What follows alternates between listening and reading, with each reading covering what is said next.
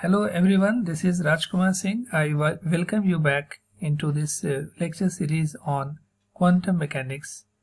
In this lecture, we will talk about time-dependent perturbation theory. This is the part 2 of lecture.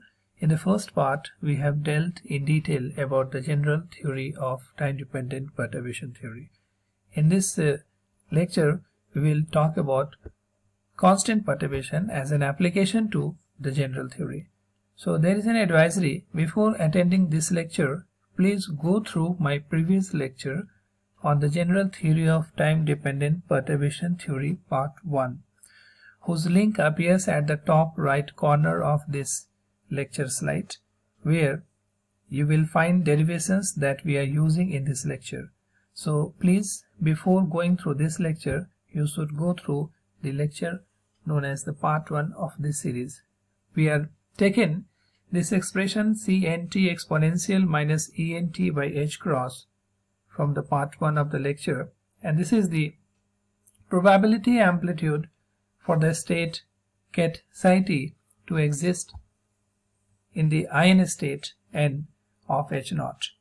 Therefore, the probability for the state to have grown from initial state k to state n at a time t which is known as transition probability is given by pk2n equal to modulus square of this amplitude cnt exponential.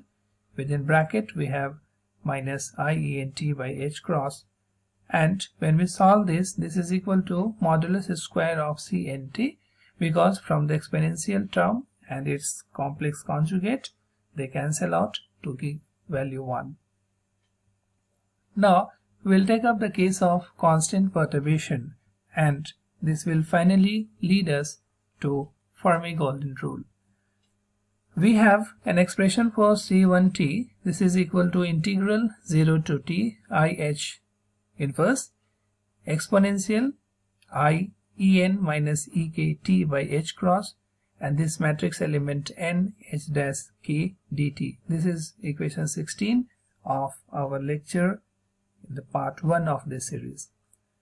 Now when perturbation is constant in time, then the matrix element nh dash k in equation 16 above does not involve time and we have cn1t equal to ih cross inverse h dash nk.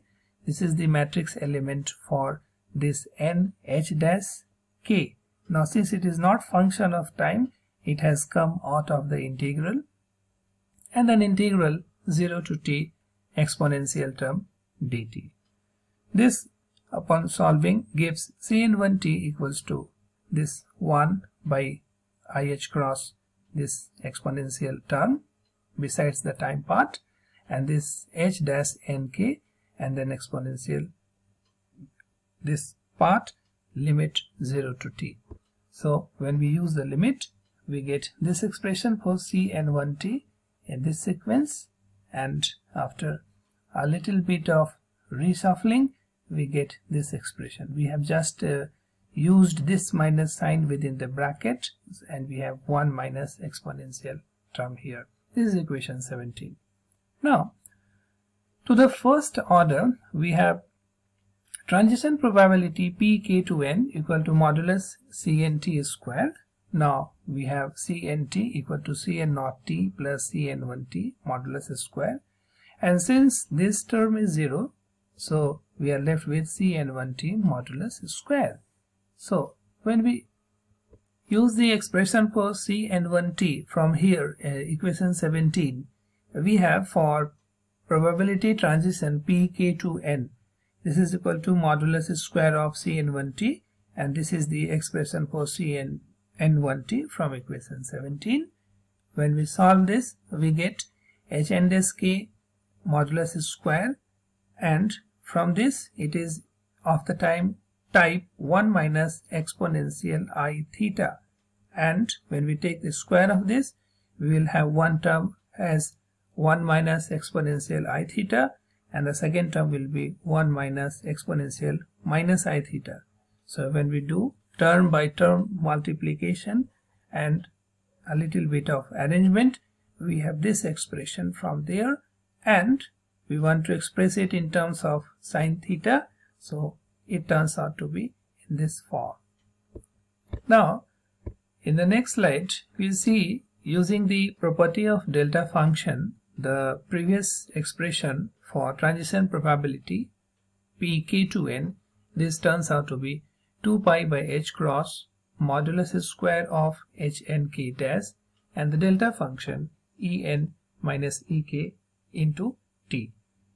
So using the property of delta function and rearranging the expression in the previous slide we get an expression for transition probability pk2n equals to 2 pi by h cross modulus square of h dash nk delta function of en minus ek into t.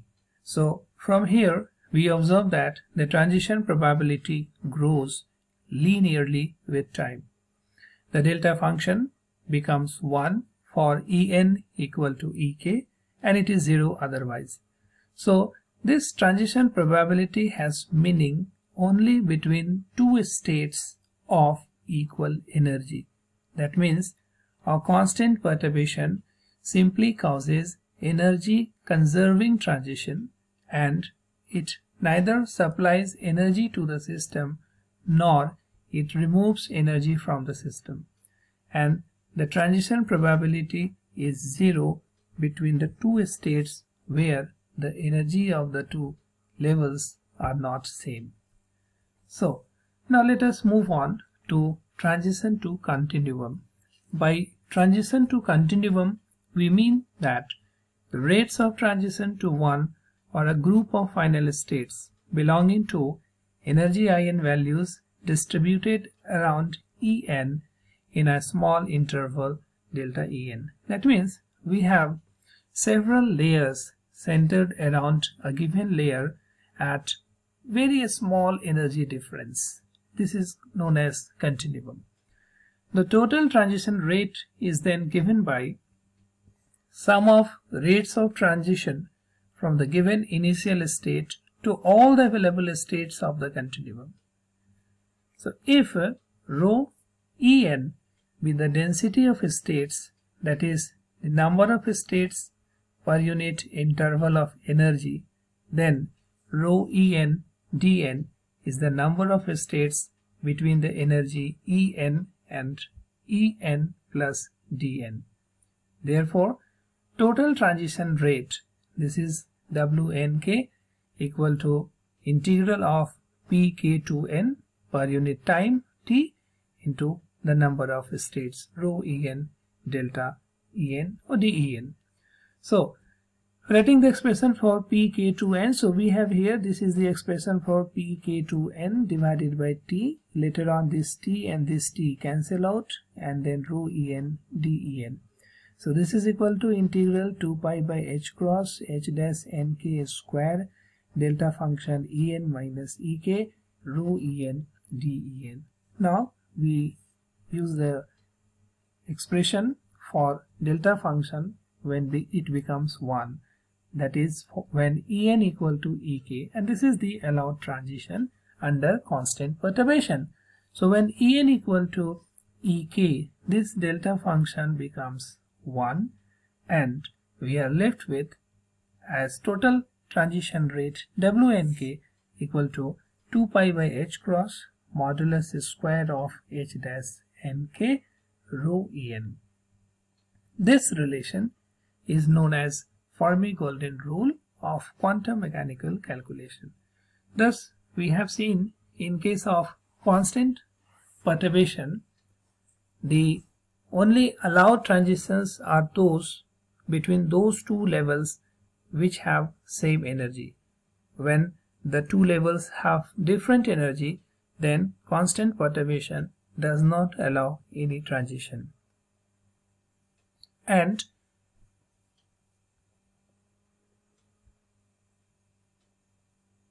This uh, transition under the effect of constant perturbation does not allow any absorption or emission of energy. It simply observes energy conservation from one state to the other state which is of same energy as the originating states. Thus we come to an end of our discussion on constant perturbation. This was the part 2 lecture for time dependent perturbation theory. Now in our next lecture that will be part 3 and the final lecture of this series we will discuss about harmonic perturbation and we'll see how it is different from the case of constant perturbation. Thank you so much.